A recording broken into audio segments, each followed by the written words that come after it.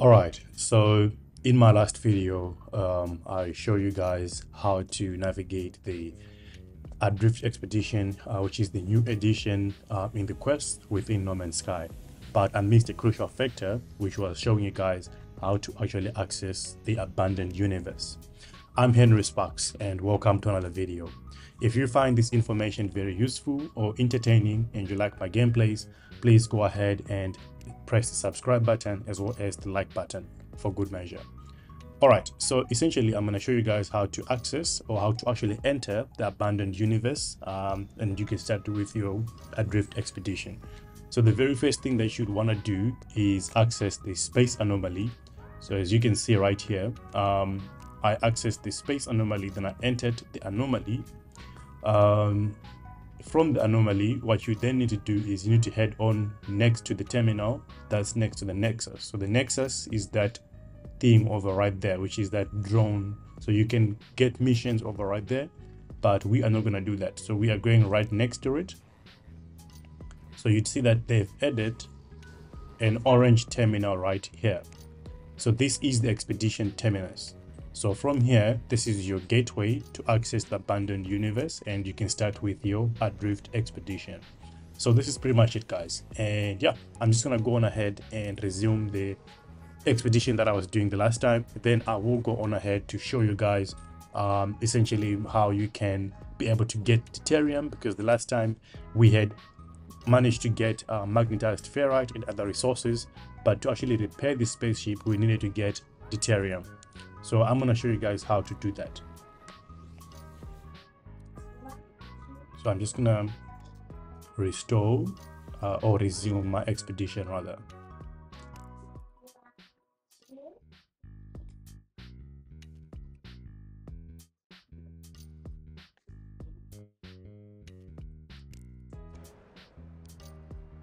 So we've entered the abandoned universe. Um, yeah, so right now essentially what you then need to do guys to be able to get Deuterium so I've already done it um, and unfortunately No Man's Sky does not allow me to go back in time um, due to its own saving system which I, I find very weird by the way um, because you should be able to yeah go back to a specific timestamp if you want to but they don't allow you to do that. So if you hit the escape button you see that there's an expedition tab and top. So on that expedition tab if you click on it you see that you've got different quests that you have to complete and then you get different rewards. So if you want to get Deuterium, Deuterium, um, you can see that Deuterium right there. Um, if I'm just going to pin the details to Deuterium, um, you you need two things, right, to make Deuterium. So you either need dihydrogen. Um, so I'll just show you with my refiner. So there we go. So to make deuterium, you need dihydrogen or tritium. But since we don't have a spaceship that's working, that means we need to find an alternative resource. And in our case, it's going to be silicate powder. So silicate powder, you can just get it by simply switching on your terrain manipulator. And then you can just drill anywhere under, like on the ground. As you can see, I'll be able to mine silicate powder. So how did I get this so if you're wondering how I got this personal refiner that has two inputs like this, then essentially what you need to do is the first thing that you have to do is find your spaceship. So when you first land on this abandoned universe, you see that your spaceship will be somewhat far away from you. So you'd have to go all the way and track it and walk all the way until you reach your spaceship. So when you reach your spaceship, just hit escape, come to the expedition, you see that you would have completed the first quest. So after the first quest, they will give you um, a reward, which is going to be an advanced laser. And when you install the advanced laser on your Multi-tool, which is right over here, so if you if I if you install your advanced laser, you would have achieved the second quest, which is this quest from the ashes. So they will give you um, that personal refiner after this mission. So when you get the personal refiner, you can just go on ahead and install your personal refiner like what I did on my space, um, on my exosuit. And then just like that, you have a refiner that has two inputs and can make you deuterium. So that's all that you need to do, guys. Um, so just make sure you hit escape and collect your rewards because your rewards are not assigned to you by default. You have to actually go on there and collect your rewards. Perfect. So now that we are done, guys, I've shown you how to make Deuterium um, and how to also get your personal refiner. Um, so those are like the most valuable tips you need in, the, in order for you to get out of this um, abandoned universe. So now that we are done there, right, I'm to hop on straight into my spaceship, which is right over there. I've already fixed it.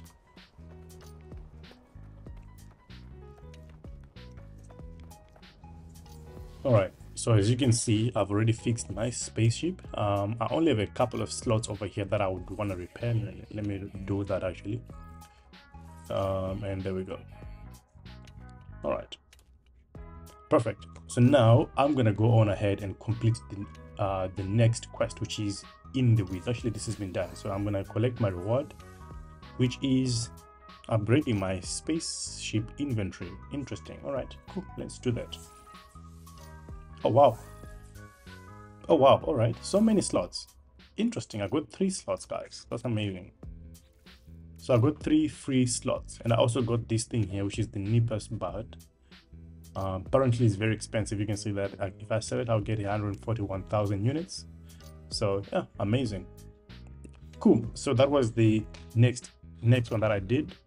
So let's see under the expedition terminal phase one um,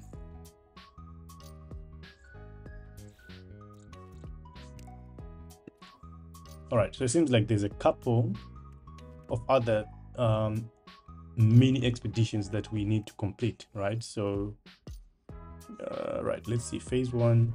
All right there we go all right so interesting guys. So there's like phase one then there's phase two then there's phase three phase four five and then you get the final phase right? So essentially you have to go through all these phases and you need to complete all of them. Amazing all right I, I quite like this guided expedition that they've given us.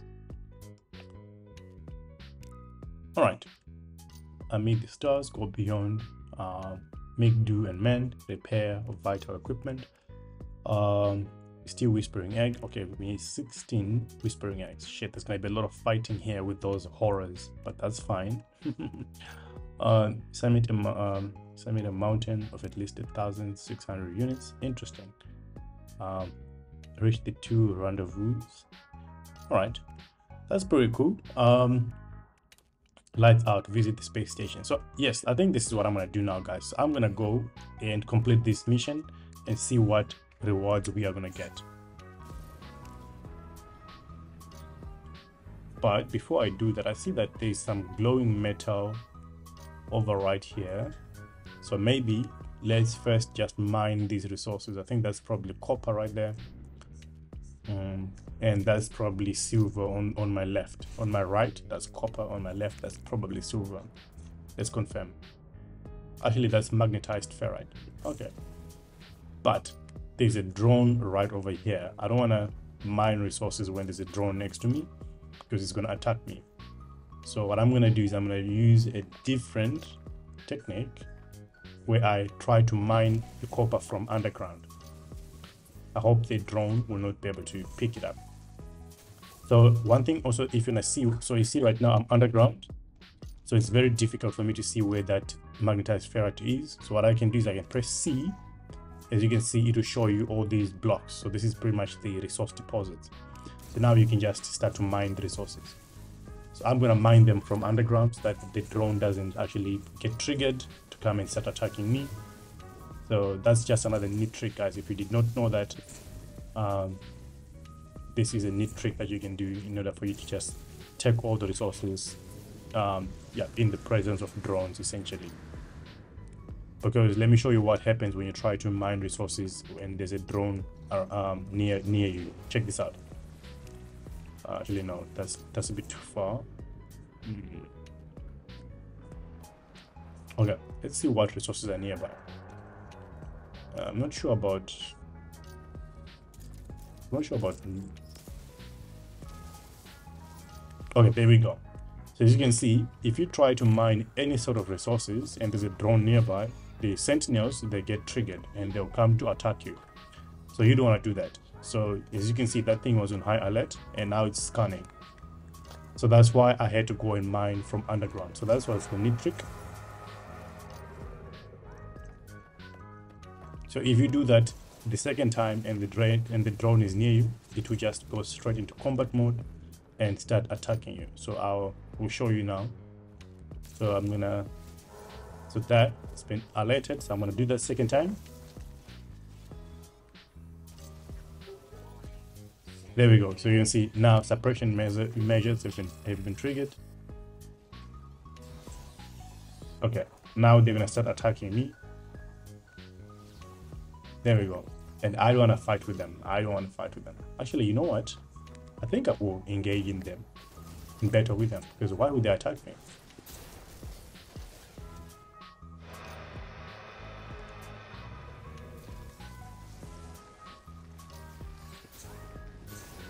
Actually, these drones are weaker than the ones you normally find in the base game.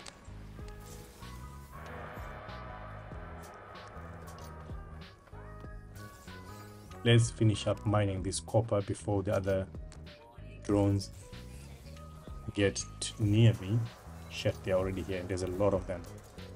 By the way, guys, when you're fighting drones, you want to take out this one here first. Because this one summons more drones so you want to take this one out first, like so that it stops summoning more more reinforcements. All right, and then you need to take out these small ones because they are the um, the ones that repair other smaller like other drones. Where where's the other one? There were two of them. There it is. And then you take out these ones, which are just the basic attacking drones. But you can see these ones here these smaller ones they repair other drones so you don't want to take those arms out first because then once you do that you've cut off the drones from being able to essentially heal each other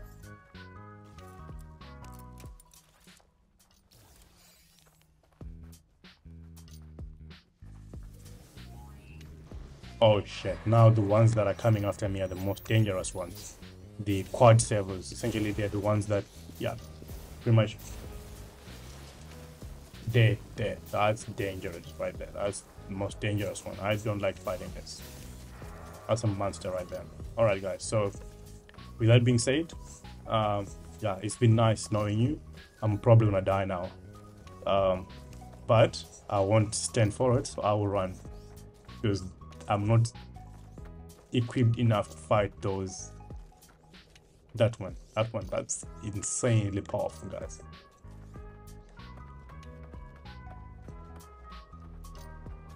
Shit. It, oh. See that powerful laser. Sentinel quads. Goodness. Run, boy, run. Run.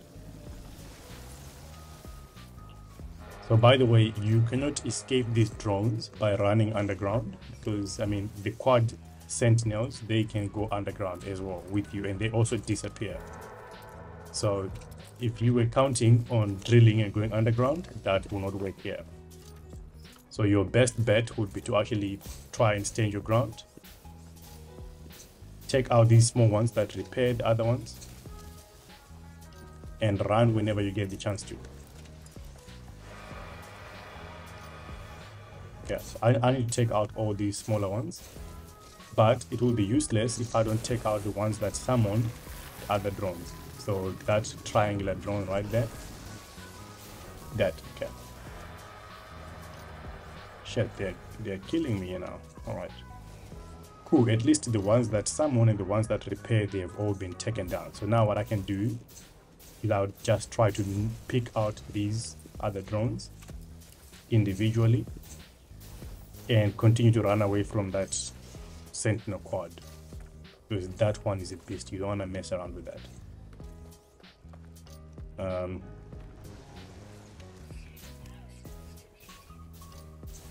all right.